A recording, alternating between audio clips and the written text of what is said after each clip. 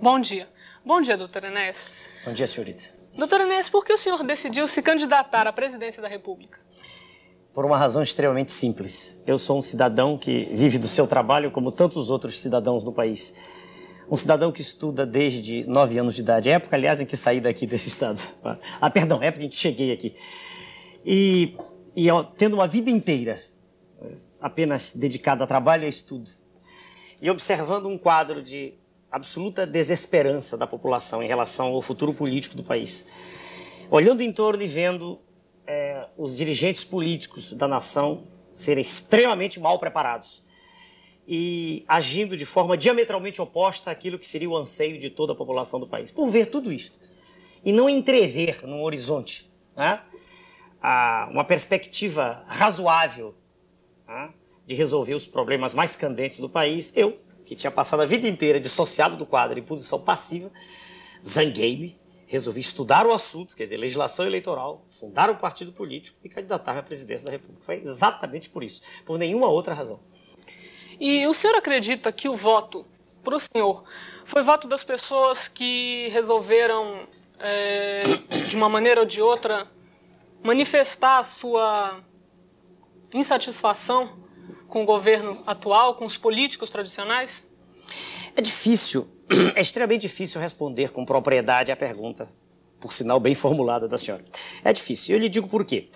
Havia é, registrados 22 candidatos, 11 é, cujos nomes eram repetidos quase diariamente pela imprensa. Aliás, dizia-se 11 candidatos para valer, e outros que ali estavam por outras razões, não sei quais.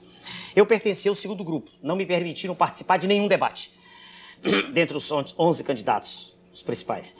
Não me permitiram exprimir minhas ideias em nenhum programa, com exceção do programa do senhor Jô Soares, né, a quem devo essa gratidão, e do senhor Ferreira Neto, em São Paulo, e TV Rio do Rio de Janeiro. Nada mais.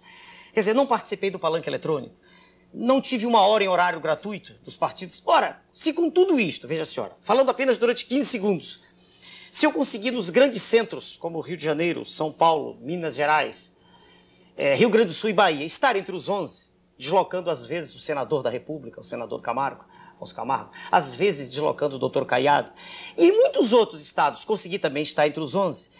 É difícil dizer que foi protesto. Teriam sido votos também de. A senhora nem usou essa palavra, perdão.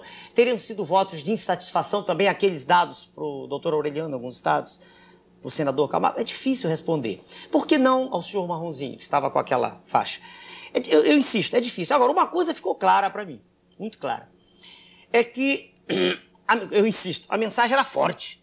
Né? E tanto ela atingia o cidadão, no seu cerne, no seu imo, né? lá no interior do seu ser, tanto era assim que hoje, quando eu saio às ruas em qualquer cidade do Brasil, já repetisse mais de seis cidades, Vitória, Manaus, Porto Velho, agora recentemente Rio Branco, Rio de Janeiro, uhum. minha terra, eu noto simpatia da população. Né? Claro que há os que gritam, uns que ficam assustados, como se eu fosse venusiano, nem marciano. Pior.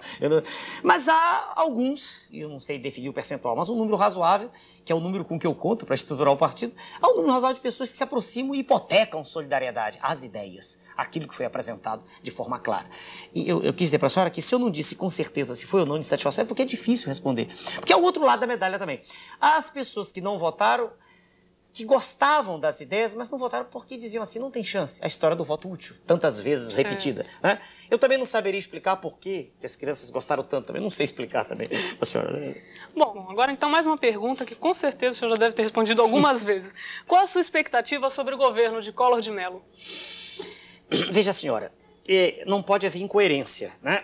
Em nenhum momento eu disse que eu acreditava nos senhores candidatos. Se acreditasse, eu mesmo não teria sido candidato. Seria uma, uma estultice. Não faria nenhum sentido isso. Mas a situação agora muda. Nós estamos diante do que se chama o poder constituído. Eu não sou desordeiro. Eu sou um homem que gosta de ordem, de respeito.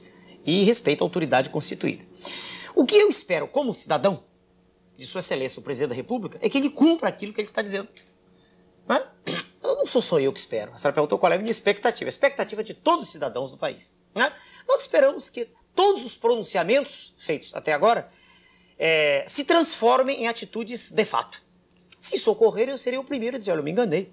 Né? Seria o primeiro a dizer. Por exemplo, agora, nesses próximos meses, eu quero crer que, e ninguém tem dúvida sobre isso, a inflação tem que ser corrigida. Porque senão é um desespero, nós estamos à beira do caos. Se nós, que pertencemos a uma classe média alta, né, e podemos ter, ter acesso a diversos bens, estamos mal. Imaginem as pessoas que vivem com salários irrisórios. Comemorando uma inflação de 51%. É, 50%. Então eu acredito, oficial, né? Então eu acredito que Sua Excelência, presidente público, deverá tomar medidas, não tenho dúvida quanto a isso. Agora, medidas naquilo que concerne a conter a inércia da inflação, o processo inercial, quer dizer, a inflação de hoje determinando a de amanhã. Agora, naquilo que se refere às mudanças estruturais, quer dizer, aquelas mudanças nas causas verdadeiras da inflação, aí eu não sei. É, pensar sobre o futuro que vai ocorrer mais tarde, não sei. A posição nossa é de esperar, né? Eu pergunto minhas vezes assim, o senhor é oposição? E eu, e eu respondo, oposição a quê? Nada foi feito. Vamos esperar o que ocorre. Nós estamos aqui em Belém do Pará, terra em que vivemos de 9 a 18 anos, onde fizemos nosso curso naquele tempo primário e secundário. Nós estamos aqui uma conclamação às pessoas que acreditaram nas nossas ideias, né, ideias de civismo, de ordem, né, que acreditaram que é possível ser criado, um, ser criado um novo modelo de política em que primacialmente o candidato ele diz a verdade, independente de qual ela seja, para ganhar ou perder a eleição, ele dirá a verdade. Essas ideias, nós estamos conclamando as pessoas que acreditam nisso, que acreditaram em nós, para que se unam a nós, né? que nos procurem, porque o nosso partido precisa ter o registro definitivo. Eu sou o presidente do partido. Eu estarei aqui no Pará, e como já estive em outros estados, Amazonas, Rondônia, Acre, Rio de Janeiro, São Paulo, dizendo o seguinte: com o registro definitivo na mão, nós temos uma ferramenta de trabalho séria, ordeira, para podermos apresentar candidatos nossos que falem a nossa língua né? nessas eleições agora ao Congresso, Assembleia Legislativa. Então, a sua vinda a Belém... É especificamente, é especificamente para isso. É, sim, senhora. Ok, então o senhor agora pode se utilizar de mais de 15 segundos para colocar, se o senhor quiser, as suas ideias ou de alguma forma. É, eu agradeço a senhora a oportunidade, sem dúvida ímpar, né? Que as redes de televisão estão oferecendo agora. Muito embora as eleições tenham acabado, mas é uma oportunidade para que as ideias venham ao lume, né? O que eu quero dizer é que nós não estamos pregando nada de novo. Não há nada de extraordinário. O que o nosso partido pretende é que o político eleito seja exatamente aquilo que ele devia ser. Nada diferente disso. Veja como é simples. Eu, o que nós queremos é que o, o, cidadão, ao passar a ser um deputado federal, quer dizer, ao estar no Congresso, ele continue sendo aquele cidadão que era antes. Ou seja, que ele lute pela comunidade. E que de uma vez por todas a gente consiga, pelo menos, começar. E nós vamos começar a lutar contra esse modelo que aí está. De você de... Desmistificar essa Exatamente. coisa de político, a esse é modelo, a esse é modelo anacrônico, esse modelo obsoleto, esse modelo ultrapassado do nosso país, que vem desde a proclamação da República, modelo de uma classe que perdeu aquilo que há de mais extraordinário, dizer, o respeito, né? Que devia exigir para si mesmo. Eu não, não ataco ninguém em particular. Eu não tenho nenhum preconceito com nenhum cidadão que está nesses cargos. Eu digo o seguinte: existe um modelo que precisa ser modificado.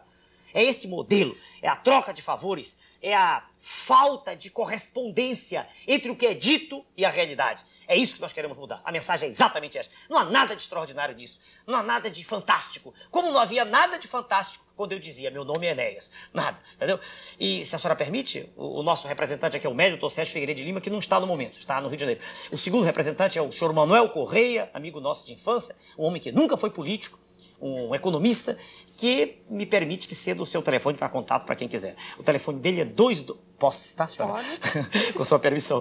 É 222-3074. O senhor Manuel Correia, aqui em Belém do Pará. 222-3074. Obrigado, senhora. Nós agradecemos a sua entrevista e esperamos que o senhor consiga realmente colocar as suas ideias e que desmistifiquem de uma vez por todas essa imagem de político ladrão e corrupto. Muito obrigado, senhora.